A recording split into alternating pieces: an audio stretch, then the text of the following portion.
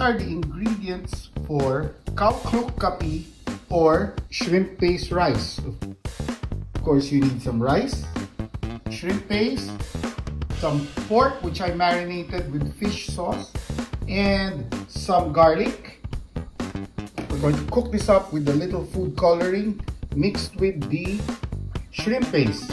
And for our fixings, we need some tomatoes, some shredded cabbage, some mango, and some diced yard bean or sitaw. To start off with some thinly sliced pork that has been marinated in fish sauce and we're going to do medium heat until the pork gets quite crispy.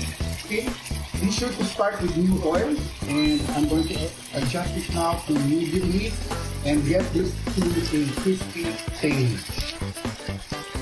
The pork it's kind of crispy and we're adding some sugar which we're going to melt and caramelize and you got the caramelized pork. Okay, for the rice, start with some garlic. We put in our kapi and red food color create a nice pink hue on our rice. So we're gonna mix that well as the rice fries in the oil.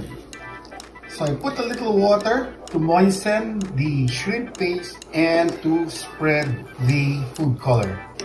As you can see now, the rice has acquired a rather pinkish color. What we're going to do is we're going to plate this now with the fixings.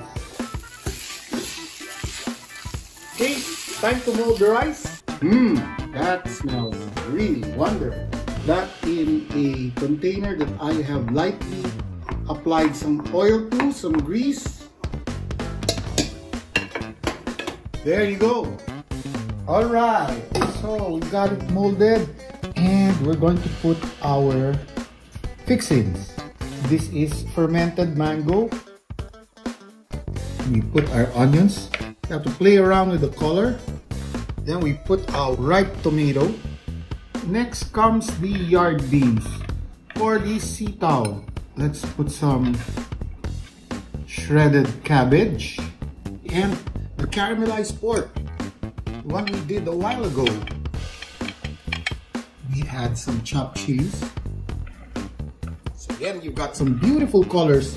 Finally, a nice dollop of cilantro.